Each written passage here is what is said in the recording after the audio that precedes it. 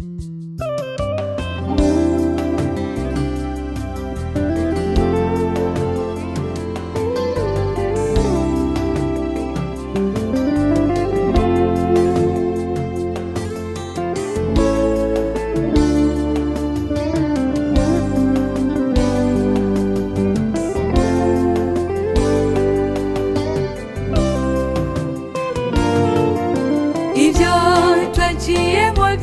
byaratwigishije haba ibindi na byo biduhicirwa abo twabonye bamwe batubereye umugisha. Abandi nabo baducisha ubwenge nawe menya ko mu buzima uzohura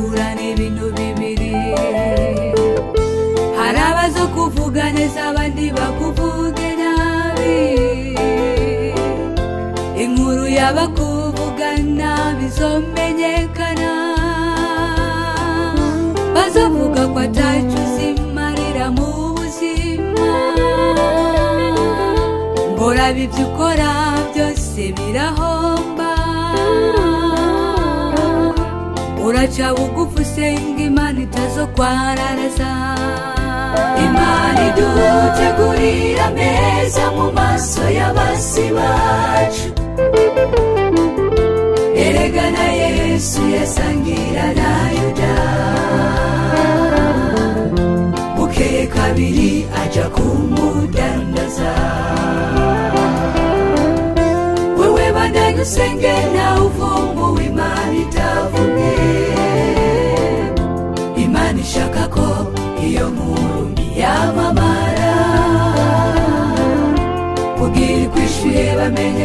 imana ari ukuri.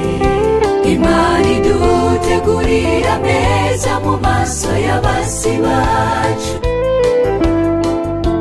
Erega na yesu yasangira na yuda. Bukeye kabiri aja kumudandaza wewe bandanye usenge uvumu w'imana itavumye iyo nkuru yamamara kugira ikwishyuye bamenye ko imana usenga ari ukuri.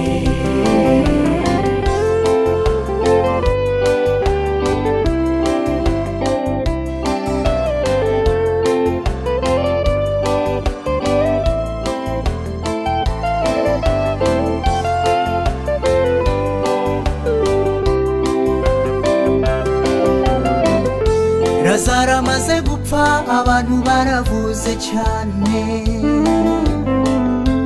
Nguyu yesu nakunda razaro kuki yatevye akarinda kumupfana? None ko yamaze gupfa azoza gukora iki? Kwataje karera zaragihema inkuru mbi yuzura igisagara bose bemeza ko yesu ari umuntu mubi. Ariko imana ishimwe kwidakora nk'abana b'abantu baravuze barushe na yo iraseruka izura razara bavuze nabi bose Imana yacu imana idutegurira meza mu maso y'abasi na yesu yasangiye n'umwasi wiwe. Erega na yesu yasangira na yuda. Ke yaramuhemukira bukeye kabiri aja kumudandaza. Wewe guma ku